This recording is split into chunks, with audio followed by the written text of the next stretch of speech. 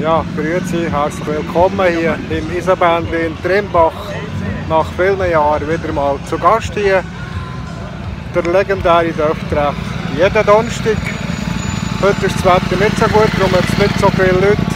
Aber es ist dennoch interessant hier etwas zu sehen.